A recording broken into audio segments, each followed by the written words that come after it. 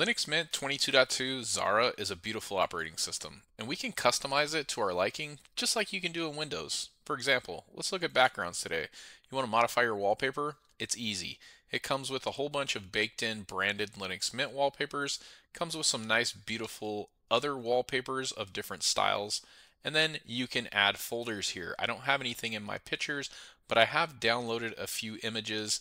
They're not going to be of great quality, but for the demonstration, we can add the downloads folder.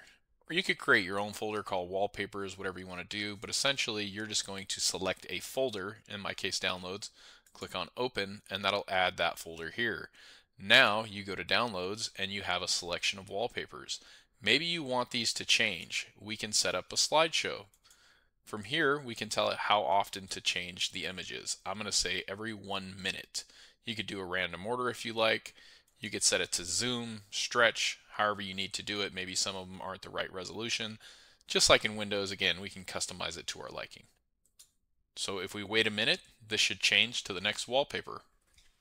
And there you have it. This will just cycle through every image in your folder uh, according to the settings that you put in there. So it could be random, depending on the delay you set, that's how long it'll take.